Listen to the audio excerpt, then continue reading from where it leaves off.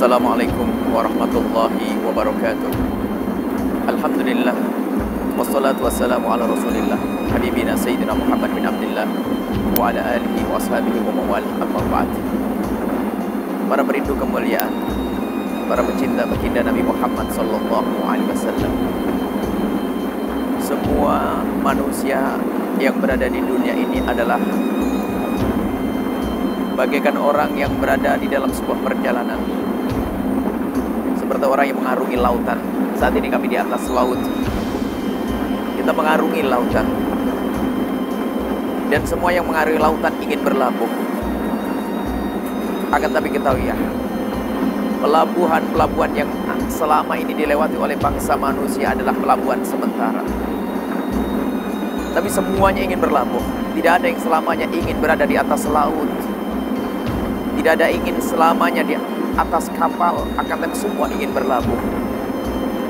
Dan ingin semuanya di saat berlabuh menemukan keindahan di pulau-pulau tersebut. Ketahuilah bahwa perjalanan kita ini semuanya akan mengarah kepada satu arah, satu tujuan. Dan di akhirnya sana itu pelabuhan kita itu hanya ada dua pilihan kita menuju satu yaitu akhirat. Kita semua akan melewati dunia ini. Akan tapi di sana ada pilihan. Di saat kita berlabuh nanti ada kebahagiaan dan ada kesengsaraan. Ada surga, ada neraka. Maka orang cerdas akan berpikir sebelum dia melangkahkan kakinya. Sebelum dia mengarahkan kapalnya atau layarnya, sebelum dikembangkan layar dia tahu ke mana arah langkahnya. Bukan asal berjalan begitu saja, dia berpikir. Bahkan dia mempersiapkan segala sesuatunya. Kalau kita lihat di kapal ini, lihat ada pelampung-pelampung. Karena apa? Tidak ingin kalau ada sesuatu lalu dia gagal tidak sampai kepada tujuan. Ini adalah urusan di dunia, perjalanan yang pendek. Lihat dari pulau ke pulau, bisa kita jangkau dengan satu jam, dua jam. Bagaimana kita yang menuju akhirat, yang di saat itu nanti tidak ada lagi tempat kita minta pertolongan. Tidak ada lagi yang bisa kita jadikan bekal. Tidak ada saat untuk mencari bekal lagi saat itu. Yang ada hanya kebaikan yang kita dapat buah dari pekerjaan kita di dunia. Atau sengsara, atau siksa. Karena hamba tersebut tidak punya amal baik saat di dunia. Nah sekarang kita ini seperti orang yang lagi menjalani sebuah perjalanan. Bahtera hidup di dunia menuju kehidupan hakiki di akhirat nanti. Maka ayo kita pastikan kapal kita adalah kapal yang bagus. Dan kita harus nahkoda yang membawanya pun mengerti jalan.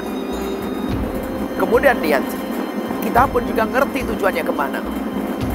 Sehingga dalam sebuah perjalanan menuju akhirat kita perlu seorang guru yang membimbing kita. Seorang guru maha guru yang membimbing kita. Dan dia adalah baginda Nabi Muhammad SAW. Yang diwarisi oleh para ulama-ulama setelahnya. Itulah yang akan membawa kita. Dan perahunya adalah selama ini adalah agama yang dibawa Nabi Muhammad adalah perahu untuk menuju keselamatan di akhirat nanti. Kita akan berlabuh dan kelak di dalam kemuliaan di surga Allah Subhanahu wa taala.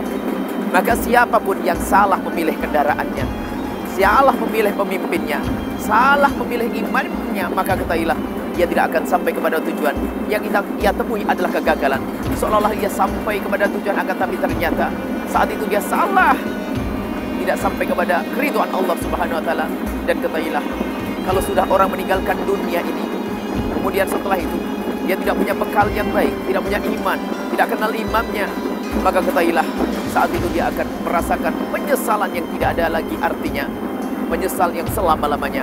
Maka dari itu wahai hamba-hamba yang beriman, hamba yang dimuliakan oleh Allah Subhanahu wa taala, mari kita saat ini berpikir kita ini seperti orang yang akan menjalani perjalanan panjang.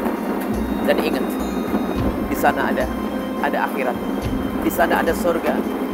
Di sana ada neraka. Maka ayo kita berguru yang benar. Berkumpul dengan perkumpulan yang baik. Jangan sampai kita berkumpul dengan orang yang bakal melombangi perahu-perahu kita, merusak perahu-perahu kita. Jangan sampai kita berkumpul orang yang bakal merusak atau membelokkan arah kita sehingga kita menjadi tersesat. Kita perlu terus belajar dan belajar, berkumpul dengan orang mulia yang dimuliakan oleh Allah Subhanahu wa taala. Sering kita sombong, kita seolah-olah tidak perlu pembimbing, kita seolah-olah tidak perlu guru. Sehingga kadang urusan agama, urusan ke akhirat kita ambil dari asal tempat. Apalagi zaman-zaman rusak dia propaganda-propaganda dari kesesatan-kesesatan ada di mana-mana. Kita bisa melihat ya, kalau kita masuk dunia internet, di situ bermacam-macam ada. Pemikiran-pemikiran yang bermacam-macam ada. Akan tapi kita wilah orang yang sadar, sadar dan waspada selalu akan memikirkan apa yang akan dilakukan, apa yang saat ini digeluti, kemudian dia harus berpikir tujuannya ke mana dan bagaimana agar sampai kepada tujuan. Dan ingat, Orang harus tahu tujuannya. Kalau tidak tahu tujuannya maka dia akan tidak akan berbuat apa-apa. Semua dari kita tujuannya adalah menuju kepada Allah Subhanahu wa taala. Maka ayo yang benar di dalam jalan hidup ini. Hidup yang benar yang baik. Jangan sampai kita tenggelam di atas laut. Jangan sampai kita tenggelam di atas laut karena apa? Tujuan kita tidak benar. Kita tidak sampai. Kita akan sengsara. Kita akan menyesal nanti. Mumpung masih ada kesempatan persiapkan semuanya. Sehingga perjalanan Anda istiqomah. Ala siratul mustaqim. Di jalan Allah yang Allah ridhoi. Dengan guru yang benar, dengan perkumpulan yang benar, sahabat yang benar, bimbingan yang benar, maka Anda akan sampai kepada Allah Subhanahu wa taala. Bimbingan yang benar adalah agama yang dibawa oleh baginda Nabi Muhammad SAW dan imam yang benar adalah Nabi Muhammad dan ulama-ulama baginda Nabi Muhammad SAW dan sahabat yang benar adalah orang-orang soleh yang bersama anda. Maka jangan anda bergaul dengan orang yang tidak membawa anda kepada kemuliaan. Dan jangan mengentengkan masalah pergaulan.